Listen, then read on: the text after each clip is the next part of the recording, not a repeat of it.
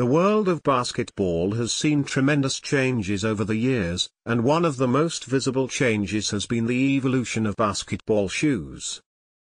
From the classic Chuck Taylors to the latest Nike and Adidas sneakers, the footwear of basketball players has come a long way. So why did basketball shoes change? First and foremost, the biggest factor driving the change in basketball shoes was the technological advances in materials and design. As the game of basketball has grown in popularity, companies have been able to devote more resources to creating better performing shoes. For instance, modern shoes are designed with specific features in mind, such as cushioning for the feet, arch support, and better traction for quick cuts and stops. In addition, the style of basketball shoes has also evolved over the years. Companies have developed increasingly stylish and eye-catching designs that appeal to both athletes and casual fans.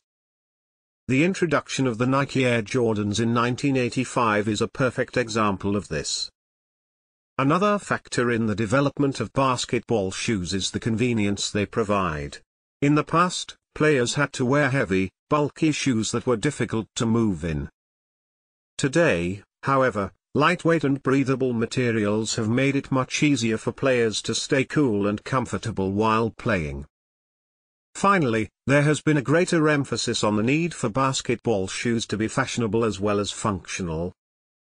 With more colorways and designs available than ever before, basketball players can customize their look and show their personality.